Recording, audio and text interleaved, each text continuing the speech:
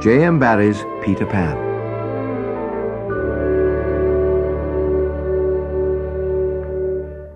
It was a quiet, still night. On the pirate ship, the Jolly Roger, Captain Hook paced up and down the deck, smiling grimly to himself. This was his hour of triumph, for he was sure that Peter Pan had drunk the poison medicine and was now dead. Better still, he thought, all the other boys were imprisoned in the hold of the ship. Handcuff the boys and hoist them up, he cried. Aye, aye, replied the pirates. The boys were lined up in front of Hook. Now then, bullies, he said. Six of you must walk the plank tonight, but I have room for two cabin boys. Which of you are to be saved? He nodded at John. You boy, you look as though you have a little pluck in you. All you have to do is swear, down with the king, and you can join us.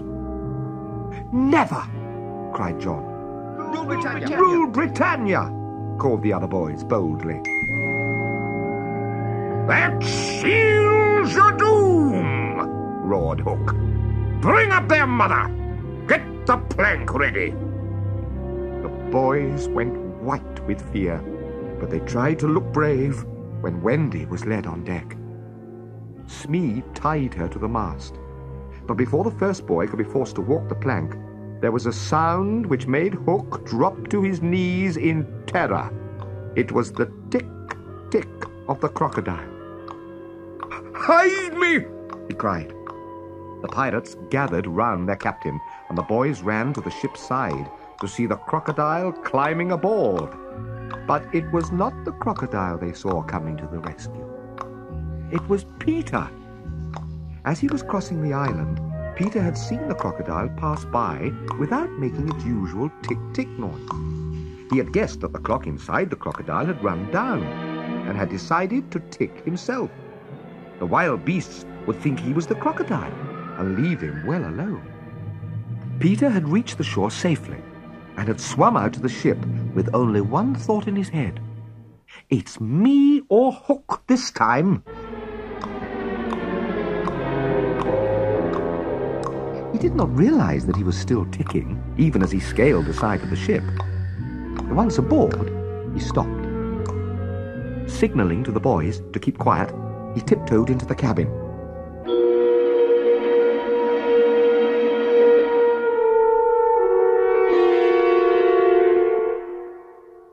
The ticking stopped, Captain, cried Smee. Hook raised his head and listened. There was not a sound, and he drew himself up to his full height. Then here's to Johnny Plank, he cried, and dancing along an imaginary plank, he began to sing. Yo! Ho, yo, ho, the frisky plank, he walks along it so, till it goes down and you goes down to Davy Jones below. We'll beat these boys with a cat o' nine tails. Fetch it from the cabin, Jukes. The pirate strode off to the cabin, and Hook continued his song.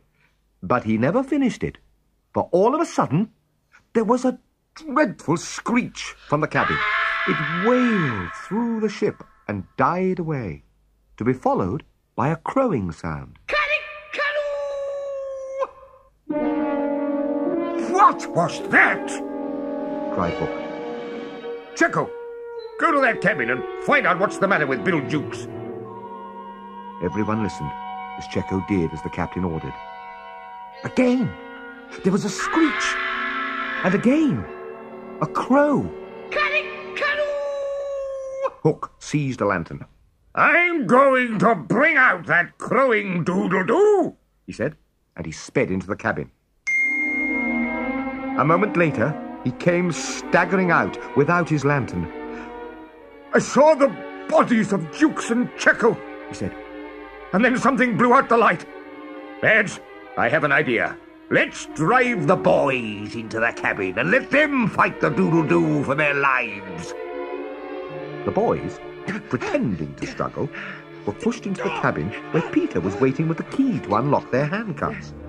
As soon as they were free, they seized whatever weapons they could find and crept out of the cabin.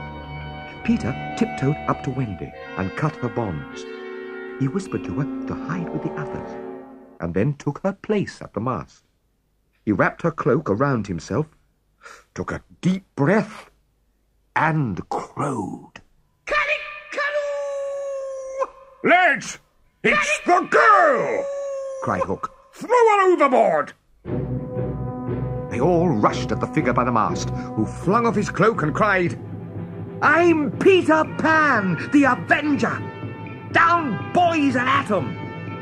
In a moment, there was the clashing of swords as the pirates ran here and there, striking wildly. The boys hunted them down in pairs, driving some into the sea and trapping others in dark corners. Only Captain Hook managed to keep them all at bay.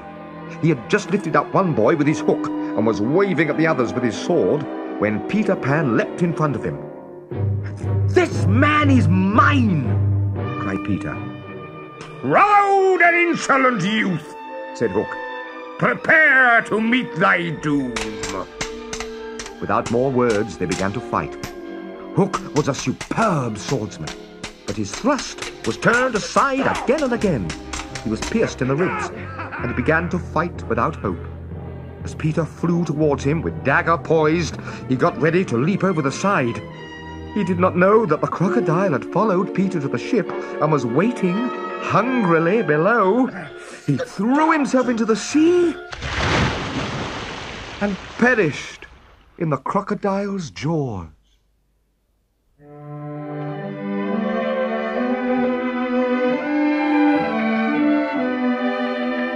It was very late when the boys finally got to sleep in the pirates' bunks.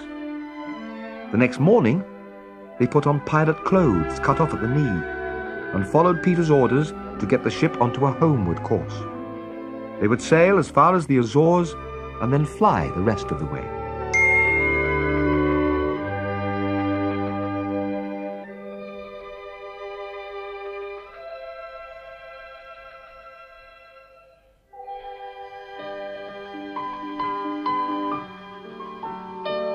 Many moons later, Wendy, John, and Michael flew through the open window of their nursery. It had not been closed since the night they flew away. They knelt in front of the kennel to see if Nana was inside. It's father! shrieked Wendy. Surely, said John. He used not to sleep in the kennel. Of course, John and Wendy could not know that Mr. Darling had stayed inside the kennel since the night they had flown away. It was his way of punishing himself for chaining Nana in the yard on that terrible night. Suddenly, they heard Mrs. Darling playing the piano downstairs. It's Mother, cried Wendy. Let's all slip into our beds, just as if we had never been away. And so, when Mrs. Darling came into the nursery, she saw the children in their beds. But she thought that she was dreaming and sat down sadly by the fire. For one awful moment, the children thought that she had forgotten them. Mother! they cried, and they leapt out of bed and ran into her arms. George! Oh, George! cried Mrs. Darling when she could speak. And Mr. Darling woke to share her happiness, and Nana came rushing into the room. Down below, the lost boys waited to give Wendy time to explain all about them. Then, when they had counted to 500, they went up the stairs and stood in a row in front of Mrs. Darling. Of course, she said at once that she would have them. Mr. Darling thought six extra boys rather a lot, but in the end he found enough room to fit them in. Only Peter would not stay. Mrs. Darling would not let Wendy return with him to the Neverland, but she agreed that Wendy should go for a week every year to help with his spring cleaning. Peter came to collect Wendy the following spring, and he came again two years later. But after that, he forgot. And the next time he saw Wendy, she was a grown woman. Hello, Wendy, he said as he flew in through the nursery window. I have come to take you to the Neverland. I can't come, said Wendy sadly. Peter, I grew up long ago. I am a married woman, and the child in the bed is my daughter, Jane. Peter looked at the sleeping child, and with a cry, he sank to the floor. He began to sob so loudly that Jane woke up. Little boy, why are you crying? I have come for my mother, to take her to the Neverland. Yes, I know, said Jane. I have been waiting for you. Peter jumped to his feet, blew some fairy dust on her shoulders, and led her to the open window. No! No! cried Wendy.